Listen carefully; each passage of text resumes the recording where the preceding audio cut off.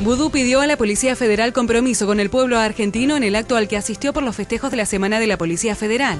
El excomisario Miguel Ángel Espósito, acusado de la privación ilegal de la libertad calificada de Walter Bulacio, fue condenado a tres años en suspenso. El diputado provincial Chino Navarro destacó que el regreso de la presidenta a las tareas puede estar acompañado de medidas de acción política.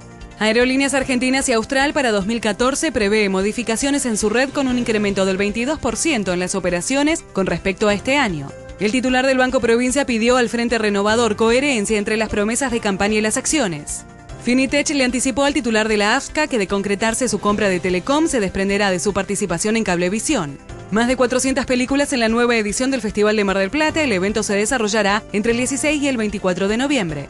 El cantautor León Gieco aseguró que no trabaja para el gobierno de la ciudad porque elige no hacerlo con menemistas. Ramón Díaz se responsabilizó por el mal momento de River en su primer descargo tras la derrota ante Lanús.